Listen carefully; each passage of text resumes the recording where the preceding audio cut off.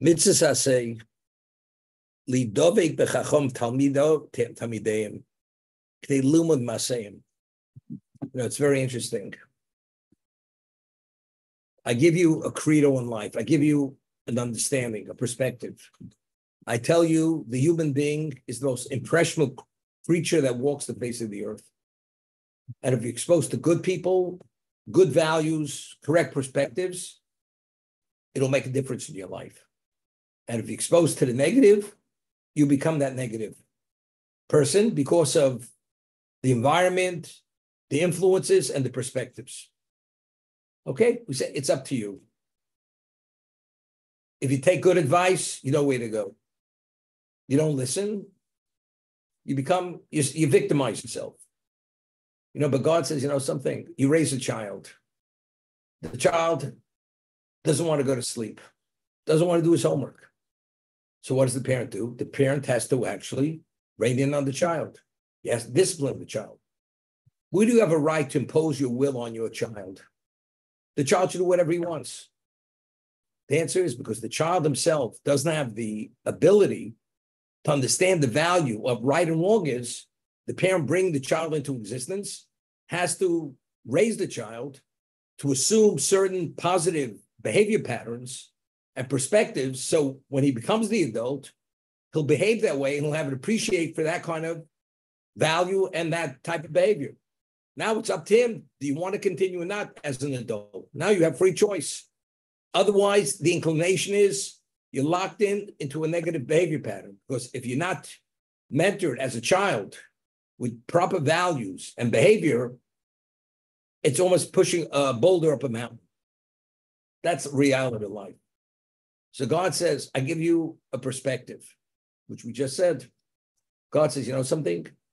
You're obligated to associate yourself with chachomim, with wise people, with tzaddikim, and being in a positive environment. God is the father reigning in on the child. This is way you have to, you have no choice. You want to be defy your parent, the child could be that defying child. But the parent, if the parent himself presents it in a way where it's the child at his level is able to appreciate it, the child is going to allow himself to be disciplined and to assume positive behavior patterns. That's why Hashem gave us the mitzvah because we are so impressionable for the negative and positive. Therefore, the Rambam says, mitzvahs asay lidavi bechachomim v'talmideim.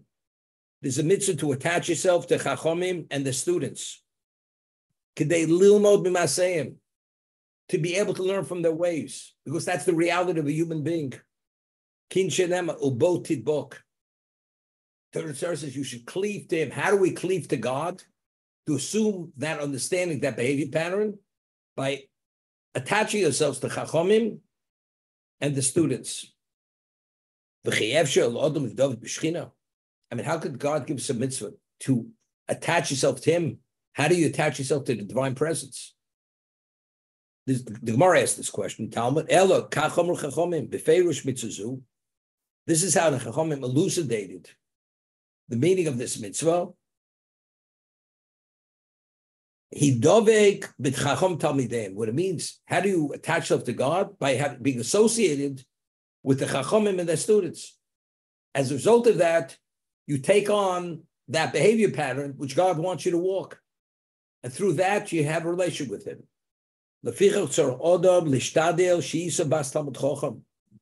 Therefore, what kind of wife should you marry? The daughter of a Talmud Chochem. First, she was raised by him, so she's the equivalent of the student of the of the chachamim, because her values are naturally correct. And if her father's still alive and she has siblings, you're going to be exposed to the siblings. That's the family. The Esau Beetle Talmud Chacham. You should marry your daughter to a Talmud Chacham. As a result of that, you're going to have that level of association. And even in the most mundane level of existence, eating and drinking, you should eat and drink with Talmud Chachomim. Lasas pragmacho letalmud Chacham, offer business opportunities to the Talmud Chacham. and to be attached to them, associated with them at every level of association. Meaning, don't miss a point. Whenever you have an opportunity, it's like they say, people, they don't miss a beat. When it comes to this, this is the ultimate that every level of opportunity, you shouldn't pass pass on it. Because every juncture has invaluable value because it'll make a difference in what type of person you're going to be. Shenema udavkabo. That's the mitzvah you should attach yourself to him.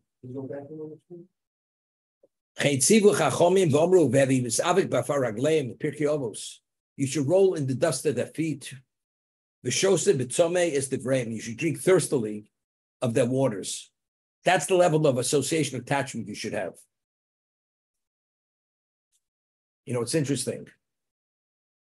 You know, when I went to study yeshiva out of town in the 60s, what was going on in the 60s?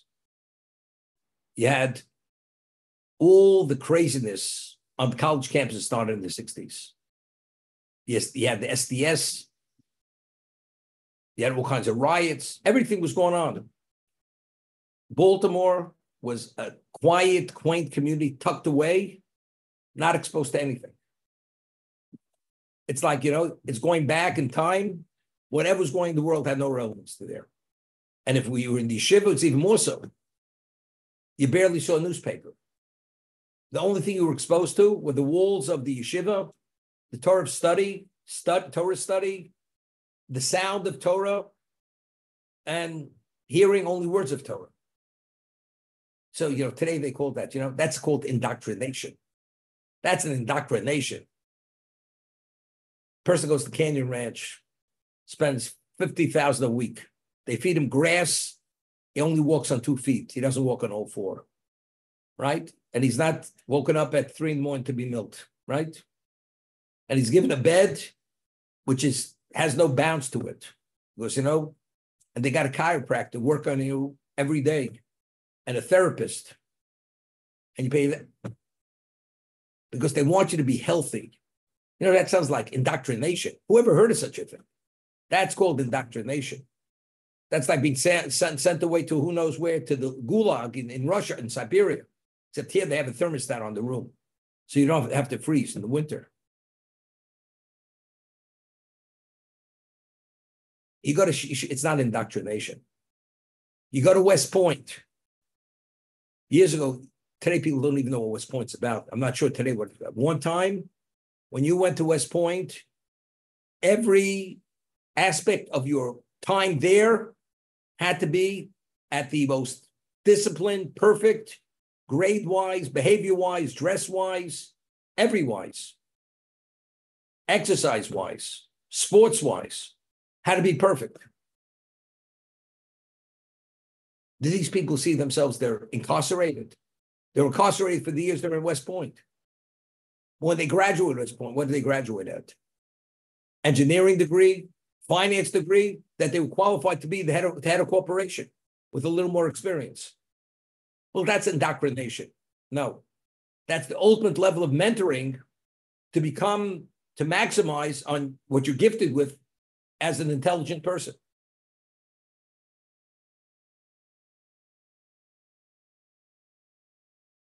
Mitzvah al kol odom levas kol echad v'echad mi Yisrael kegufo. There's an obligation on every person to love every Jew no less than he loves himself. Shenemar, kamocha. You should love your fellow as you love yourself. This is this being Jews. There's no mitzvah for a non-Jew to love a Jew. But every Jew, there's a mitzvah to see that Jew in a positive vein. We're not talking about to delude yourself. You have a Jew who's, who's dishonest, corrupt. There's no mitzvah to love that guy.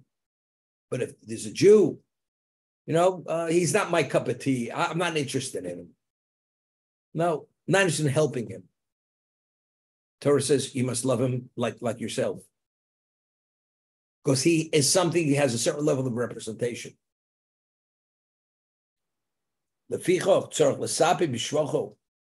Therefore, when you speak of that person, you have to speak in the context of something which is praiseworthy. And if you see that his finances are in jeopardy and you can make a difference to protect them, you, you have an obligation. As you would do for your own, do for his. Just as one is concerned for his own regarding the, the preservation of his own asset. He's interested in his own level of what? Of integrity, of respect. The way you want to be treated, that's the way you should treat your fellow. That's love your fellow as you love yourself.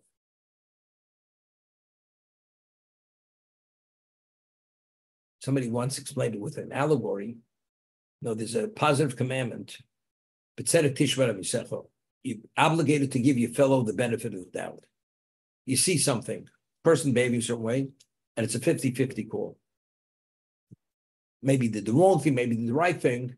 You have an obligation to give him the benefit of the doubt. If he did the wrong thing, he did the wrong thing. That's not, you're not judging. That's not a judgment. You saw he did the wrong thing. But if it's a question where you, there's a judgment call, always better err to the side that he did nothing wrong. That's, you should judge your fellow with righteousness. Now, so somebody explained with a Moshe, with the allegory. Person sells a house with all its contents. So the moment the person hands over the keys, anything that's found in the house is goes with the house, and the original owner has lost it. So what does he do? The moving trucks drive away. He pulls out of the driveway where he lived, and he hasn't yet given the keys to the new owner. He's three blocks away. He remembers maybe tucked away in the closet, he had left something there, which has great value. What does he do? He drives back, goes to that closet, checks it, nothing there. He's already two miles away from his house. Then he thinks, you know, in the attic, he may have left something there of great value, and he goes back again. And he goes back about six times before he hands over the keys to make sure he didn't leave a stone unturned to make sure he left nothing there. Why? Because if he did, that means he's giving up something which has great value to him. So, to the degree that you value something, you're always be concerned, maybe it's there. If you love, you value your fellows, you love yourself. If there's any way you could see him in the positive light, you leave no stone unturned to see him in the positive light.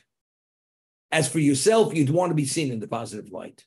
And you want the person to give you every benefit of doubt. Identically, you should use that same yardstick on someone else. Give that person every benefit of the doubt to see him in a positive light, not in the negative, as you want to be seen yourself. Same idea. Unfortunately, like we mentioned before, we stereotype people. People who are different than ourselves immediately, and even people like ourselves. But if you're not, if that person's not you, immediately, if you could see him with a critical eye, you don't see him with a positive eye. That's the way it is. But that's that's contrary to what the Torah says. You must love your fellow as you love yourself. Doesn't mean emotional love. It means you must value him. Not to speak negatively about him, to be concerned for his financial welfare if, if you could make a difference. If you could advise him and you withhold that advice that causes him financial loss. You're doing wouldn't you want to be advised to prevent the financial loss? So if you can make the difference for that person, you should.